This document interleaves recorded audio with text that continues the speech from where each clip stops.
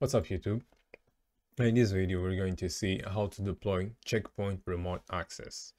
Uh, the main idea is to allow users uh, access uh, the network 172.16.2.0 sitting behind this gateway and whatever place they might be. But for this example I'm going to use this PC that is sitting in this network behind this firewall, ASA firewall and it's going to be authenticated using um, uh, the management server database locally and using uh, uh, credentials from uh, an active domain okay?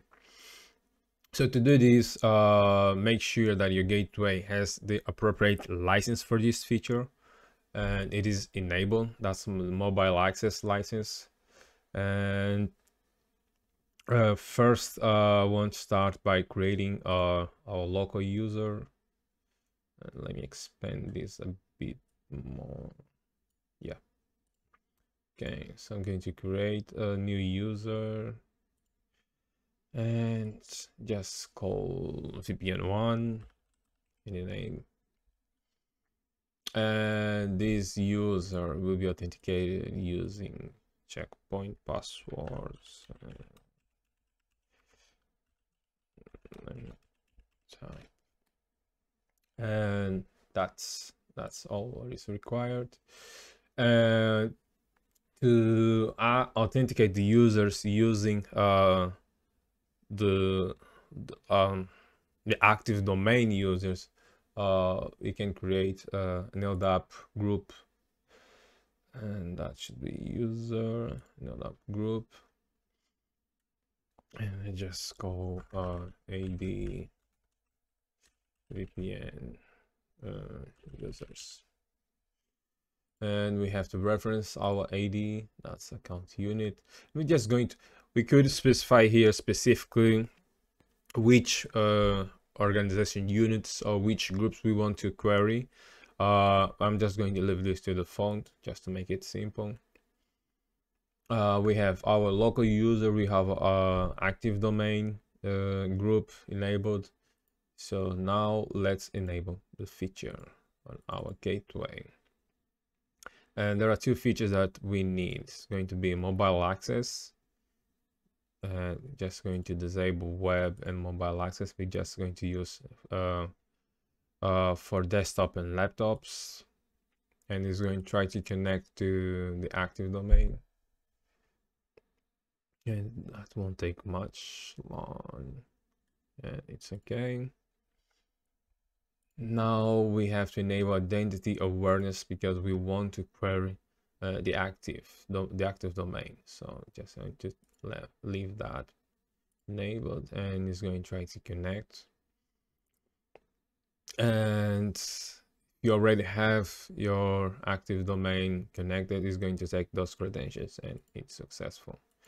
Okay, now some tricks that I need. It's uh let me see for vpn clients we want the office modes and this is what allow uh, the remote client uh to be assigned an ip address and right now uh it is being is being uh it is being assigned to all users but we we want we can filter to a group of users. For instance just a vpn group. And what we have here and for mobile access we want to use unified access policy. This way we can set the the policies all in one place. And authentication not needed office mode is going to inherit. Yep.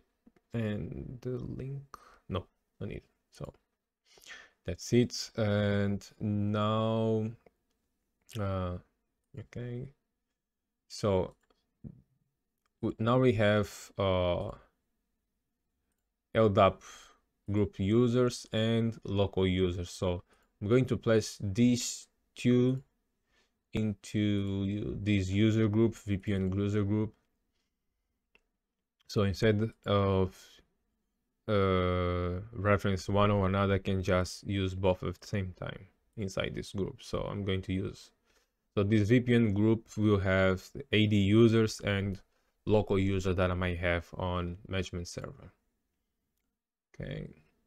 And these group of users will be the ones that will be able to remote uh, remotely access this gateway.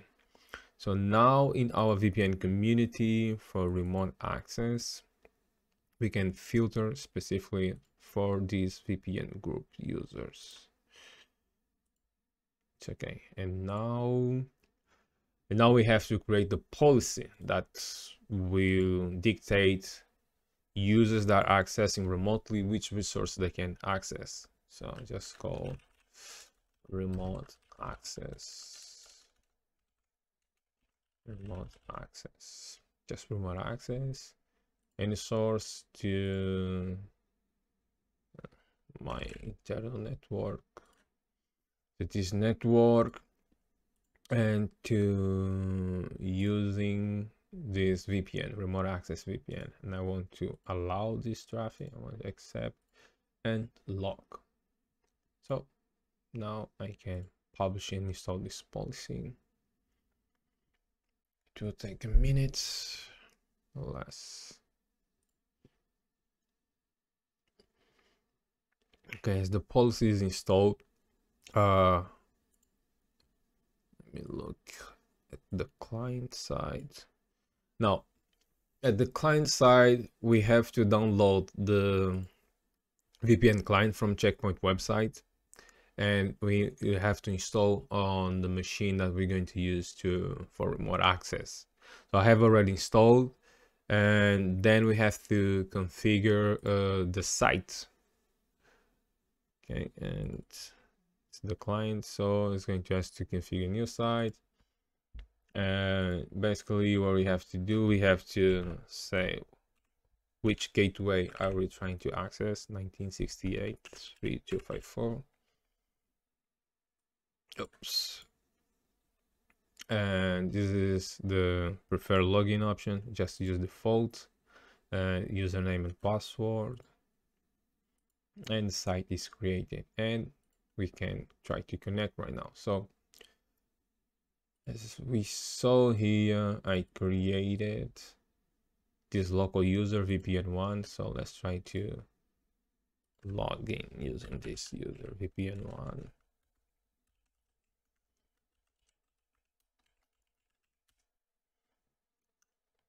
Use the VPN already authenticated. Okay, that's awesome. Connection succeeded. Okay, great.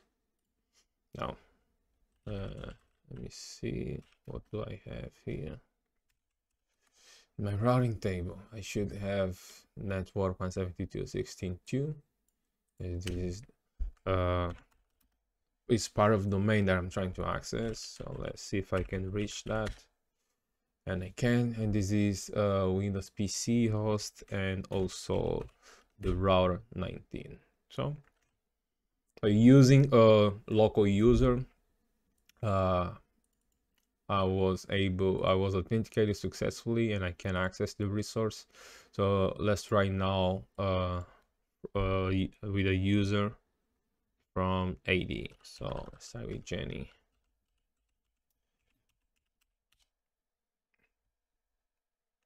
engine was successfully authenticated. Okay and should have access to the same resource. So and then you if you want you can uh, filter out uh, users from within AD that should have access uh, what is it LDAP group. Uh, for for uh, for specific uh, organization unit or for specific group. Uh, this will depend on your needs and your business needs but that's how we do it. So i hope you guys enjoyed and i'll see you in the next one